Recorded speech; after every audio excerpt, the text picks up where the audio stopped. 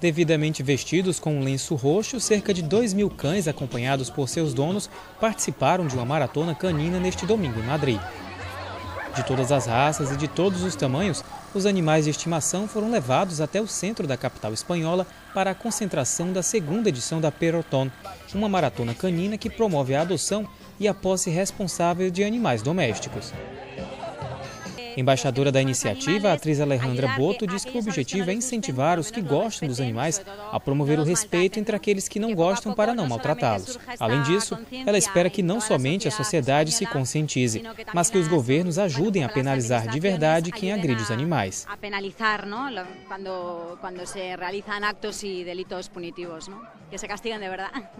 Mesmo antes da largada, alguns cãezinhos já estavam cansados para enfrentar o trajeto de um quilômetro e meio. Essa é a maior corrida do tipo na Espanha e toda a verba obtida com o evento é revertida para uma associação que protege os animais de estimação.